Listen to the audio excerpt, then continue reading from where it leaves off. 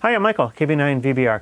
The National Weather Service maintains over a thousand transmitters that broadcast important weather information 24 hours a day, seven days a week. Uh, these weather broadcasts can be picked up with a NOAA weather radio similar to this one.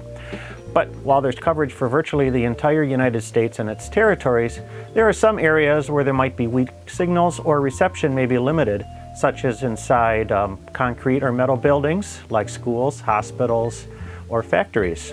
Using an external antenna will greatly improve reception if you live in a weak signal area or building.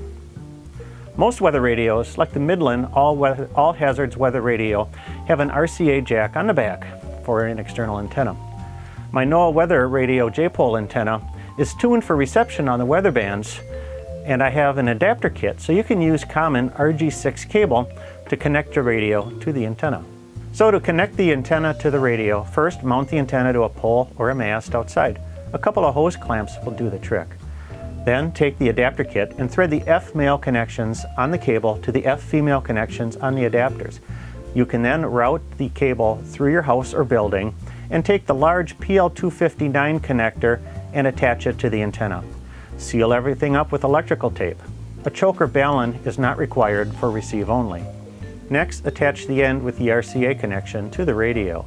The weather radio will use the external antenna once, this, once it is plugged in.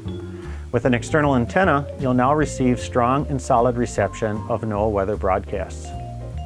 If you have any questions about using an external antenna with your NOAA weather radio, please drop me an email at kb9vbr at jpole-antenna.com or visit us on the web at www.jpole-antenna.com. I'm Michael, KB9VBR. Thanks for watching. Have a great day and 73.